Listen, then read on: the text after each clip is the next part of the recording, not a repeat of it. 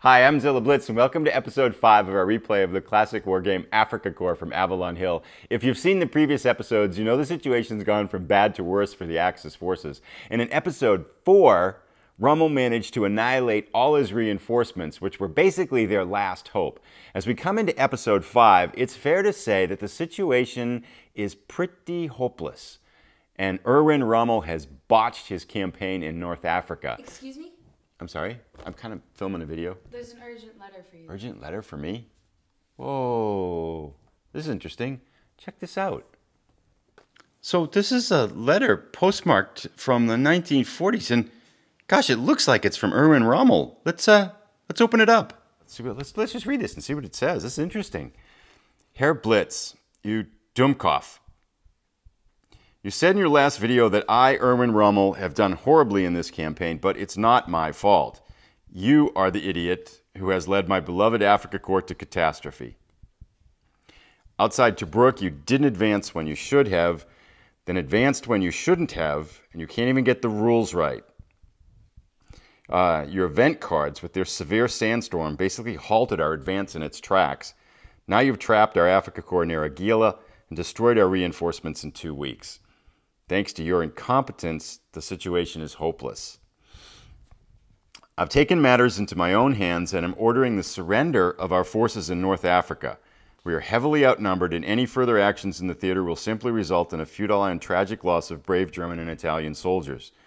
This game is over. We surrender. Go find another game to play. I suggest checkers or tic tac toe if you can figure the rules out. Um, yeah, he doesn't sound very happy there, but uh, apparently, yeah, this the situation has changed dramatically with this. It sounds like Rommel has surrendered the scene, and so let's just take a look at the situation, and maybe, um, you know, if that's the case, let's just do kind of a post-mortem and analysis on on how things have uh, have played out in this game. And uh, yeah, that's surprising. He uh, he does sound pretty mad there, doesn't he?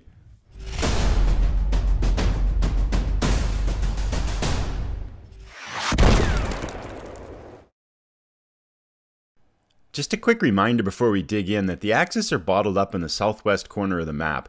For them to win the game, they'd have to break out from their current position and basically sweep the entire map. As we zoom in and take a closer look, we can just see how uh, kind of hopeless the Axis situation is. They've got four remaining units here with a horde of uh, weaker Allied units to the east, but then more reinforcements streaming down from the north. And let's take a little closer look at this situation down in the south. If we look real close on the south here, we can see uh, just exactly how dire it is. And one of the things that uh, Jeff Berkman pointed out in one of the comments was that this row of hexes here of the game is actually out of play. It's not officially, uh, they're not official hexes in the game. So in order to fix that, we would move these units out of there. And that would really make this a two hex front. And so going back and forth until the Allies kind of beat down the Axis units and then push on and take Tripoli and things. It could take quite a while because there just isn't much leverage for them to get on these forces. But it's clear that the Axis forces, they're not going anywhere. So I think all things considered, it, it really is time to call this a victory for the Allies and accept uh, Rommel's surrender here. So, with that in mind, let's take a, a kind of brief talk a little bit and talk a little bit about what uh, happened and what kind of some positives and negatives were with the scenario. So if we talk a little bit about, I mean, how did the Axis lose this one? I think there are a number of factors that played a role. The first was they got extremely unlucky in their supply rolls. Their first three supply rolls were all sunk, which really didn't help because that left them for a good part of the initial part of the game with just one supply unit on the board. And uh, they really couldn't use that to go forward because it would have left them out of supply and potentially losing the whole game. Then the event cards, which we'll talk about in a moment too, there was that severe sandstorm that hit them early in that first episode that basically cost them a turn. And I think in this game, the Axis forces are on such a tight timeline, they have to get to Tobruk almost before those first Allied reinforcements come in. And then once they were behind the eight ball in terms of time, because they lost supply units and because of that sandstorm, felt a lot of pressure to put an attack on Tobruk and really kind of mangled the attack on Tobruk. I mean, Rommel in his letter mentions not advancing when we should have and advancing when we shouldn't have. And there were a couple of clear mistakes, I think, that were made in there. Then the Allies had a pretty good counterattack that actually kind of really made the situation tricky for the Axis forces. We had a couple of rule misinterpretations that probably washed out even, but all of it summed up just really led to an attack on Tobruk that just never worked. And then suddenly the Axis forces went from putting an assault on Tobruk to being essentially out of units. I mean, they were pretty much wiped out and had to retreat back until Agila, which at what point the scenario was over. So I thought one thing I'd also want to like to take a look of now is um, the event cards, which are kind of a mod that I created for this game. I have some thoughts on those. I, I know a bunch of people have mentioned them in comments, and so I wanted to offer some thoughts up on those as we wrap up the scenario too.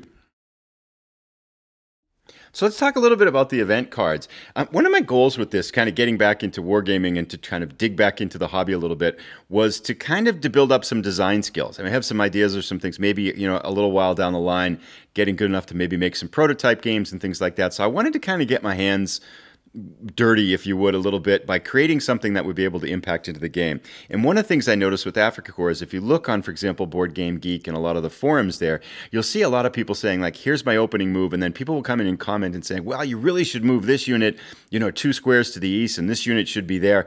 And so the game is so set in its ways because there's so few pieces, and people have played it so often that there's you know it's almost like a chess opening there's gambits and different types of names for different opening moves and things like that so it's it's a very determined pathway i think through the initial portion at least of the game and i want to try to shake that up a little bit with a little bit of unpredictability so i created a series again of 24 event cards to kind of modify some of the parameters and make a little bit more uh, different kind of variety for the start of the game. There's a couple of the, the, the, event cards basically center on two different types of events. One is events that impact supply, and the other are events that impact weather. And those are basically the two categories they, they, they sit in. And the ones for supply, I was I was really careful to make sure that it didn't increase or decrease total supply in the game. It just created a little bit of variability there. For the most part, I'm happy with how those play out because I could see them actually saving the Axis forces from some very bad luck die rolls with their supply in many situations. So I think that's good. It could hurt them as well too, but I'm I'm kind of happy with the variability of that. What I didn't get right though is the the impact of the weather event cards on the game. Most of the weather event cards that I created were negative weather impacts. So like this one here even Mediterranean storms and things like that, sandstorms that we can see over here. And so in these basically slow down. They either make it harder to attack or they make units slower. And that that severe sandstorm that hit the Axis forces in turn three, I think it was, was really a crippler because basically it's like the turn stops and they lost another turn and they're on such a tight time schedule in the beginning of the game that I feel like the weather cards, with it being mostly inclement and negative weather effects, really hurt the Axis forces in this game. So I think what I'm going to try to do is to go in and neutralize these weather events to have some, to make the negative weather impact ones a little bit less and then to add some positive impact ones, I have one in here now, which, gosh, I'm not sure. Oh, actually, there it is. That's fortunate. Cooler temperatures where it actually speeds up units. So I was thinking to do a few that would actually accelerate attack and movement just a little bit, but to tweak those a little bit. So I think I'm going to go back through, make another version of these, and then upload them to Board Game Geek as version 2 of these event cards. And again, I realize they're not for everybody. If you want that set path and if you're looking for something that's absolutely historically accurate, you know, these are these aren't really that thing. This is designed a little bit to increase some variability in the game. It might also be a good balancing factor, for, factor for example, if someone, um, a better player is playing the, the Axis forces and you need something to balance the game out a little bit. But um, if anyone does get a chance to play with them and stuff like that, I'd be curious to hear comments, and I'm up, open, of course, to kind of tweaking them as things goes on too. So, with all that being said, I think that brings us to the end of this first playthrough. And uh, I thought maybe I'd just offer some final thoughts as we wrap things up. And sorry we didn't play through to the end. I think, you know, Jeff mentioned, I think, in his comment where he pointed, pointed out the unplayable hexes that the game probably isn't really even be designed to play where we were playing the last couple turns with the Axis forces bottled up in the, the southwest corner of the map. And, you know, we could have finished it out, but it, on a two hex front, it was almost going to be like a World War I slogfest with units going back and forth. And really to no point. It was it was over. You know, the Axis forces had basically they, have lost at this point. So I think it makes sense to accept uh, Rommel, Rommel's surrender, thinking that you know anything forward we did really probably wasn't going to be that interesting, and it wasn't going to change the outcome to that regard. But some other thoughts in terms of the whole uh, episode. This was really fun to make. It was again my first playthrough to try to do this, and I've been away from the hobby for for a couple decades, so it was really fun to dig back in. I think we had five mistakes, rule mistakes in total, and thanks to people that pointed those out. Thanks as well for pointing out some of the other things. I know Matthew Perry in his recent comment pointed out some of the name designations for the allied units. I wasn't kind of paying attention to those. So all those things I think are going to help me to get better, and I'm sure that there'll be mistakes and errors going forward, but I'm hopeful that as I as we do go forward, we'll be able to have a little bit more of a smoother experience. And it's funny too, because at this one here, I thought I'd pick a simple game that I could maybe get through it mistake free, but it's an art, I think, to kind of, when you execute a war game, to be able to have uh, even a simple, relatively simple set of rules to hold those head in your head and then play out the game, especially if you haven't played for a while. So thank you again for your patience in that regard, and I hope to do better as we go forward.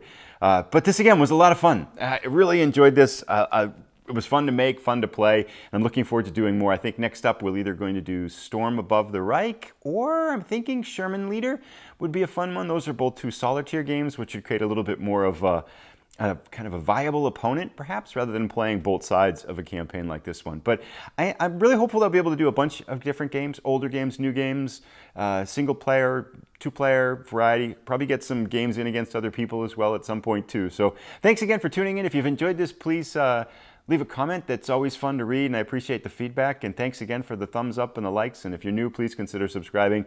Definitely want to make this a regular part of the channel going forward. I mean, I think the general theme of the channel is thinking games and strategy games, and I think this fits in really nicely. And it's been so much fun to step away from a screen and to get into a board where you're touching pieces with your fingers and, and a die roll. There is, I think, uh, a very uh, an elegant charm to this that's really fun to dig into. So thanks as well for uh, tuning in again, and we'll see you all in our next adventure. The next series should start in a couple of days. Take three. Hi, I'm Zilla Blitz, and welcome to our episode. Hi, I'm. Welcome to episode 5 of Afrika Korps. In the last few episodes, you've seen that the Axis forces have gone from bad to worse. They're now trapped in the southwest corner of the map, and it doesn't look like there's any way out. It's fair to say that Erwin Rommel has completely botched this. There's a letter for you. I'm kind of filming a video. It's urgent. I get it. Okay, ready? Go. Okay. I'm gonna laugh now. No, you got it. Okay, I got it.